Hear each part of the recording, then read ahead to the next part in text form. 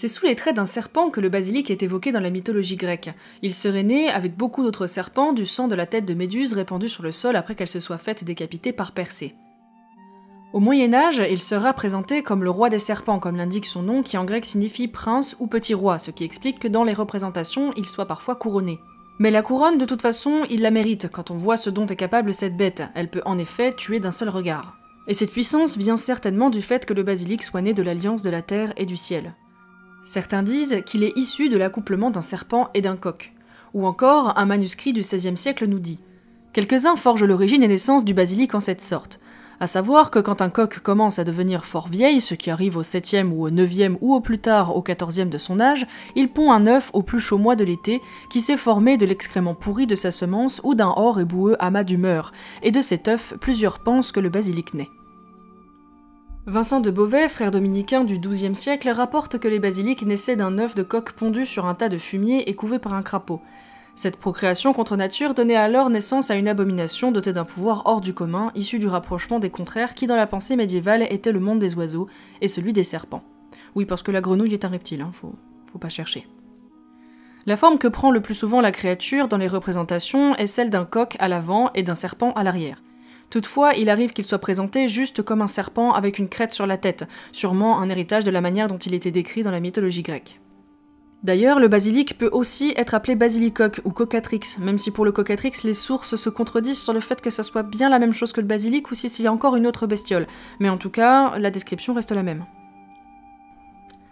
Comme nous l'avons vu, le basilic est puissant, il est pourvu d'armes terrifiantes, telles qu'un crochet qui peut inoculer un venin mortel. Dans certaines versions d'ailleurs, le venin peut être sécrété par la peau elle-même de la bestiole. Ses yeux jaunes pétrifient tout homme qui ose le fixer, et son souffle suffit à asphyxier quiconque approcherait un peu trop. Donc là, Harry Potter, paf, t'es mort. L'eau qu'il boit demeure empoisonnée pour des siècles. D'un regard, il peut tuer les oiseaux, faire pourrir les fruits, briser les pierres et brûler l'herbe. Au 1er siècle, Pline l'Ancien rapporte que l'on pensait que tuer d'un coup de lance le basilic même du haut d'un cheval causait non seulement la mort du cavalier, mais aussi celle du cheval lui-même, car le venin surpuissant se propageait le long de l'arme. Donc, là encore, mon petit Harry, paf T'es remords Fatality. Bon, plus sérieusement. Au Moyen Âge, l'aspect monstrueux du basilic en fait naturellement un symbole maléfique, parce que oui, et Disney nous l'a bien appris, quand c'est moche, c'est méchant. La Bible fait mention du basilic comme étant une des créatures que seuls les justes sont capables de braver. Nombreuses sont les enluminures qui représentent le juste foulant du pied le basilic, comme ici où le Christ en foule carrément deux, parce qu'il est trop badass. Non, en fait, il s'agit d'une illustration dans un exemplaire de la Summa Aurea de Thomas d'Aquin réalisé en 1315 qui représente l'arbre de la bigamie, pratique punie par la loi, représentée par le Christ qui marche alors sur deux basiliques. Cette créature sera aussi présentée comme étant l'antéchrist dans les prophéties d'Isaïe.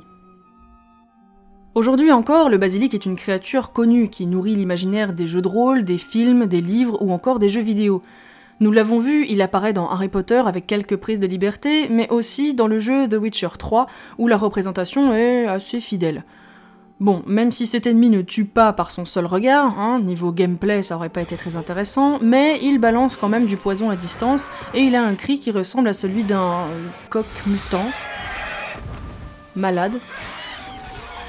Bref. Pour revenir aux textes anciens, le basilic est réputé invincible, et pourtant il semblerait que simplement lui présenter un miroir suffirait à le tuer avec son propre regard.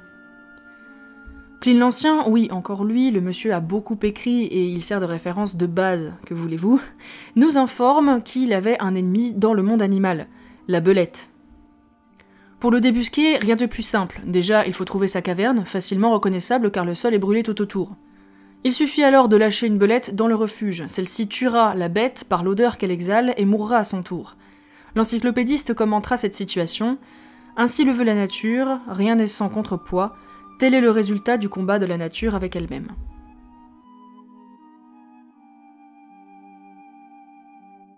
Ce quatrième épisode du Bestiaire est à présent terminé, je vous invite à voir ou à revoir l'épisode 3 sur la licorne, à vous abonner, partager, aimer la vidéo, et à me suivre sur les réseaux sociaux si le cœur vous en dit.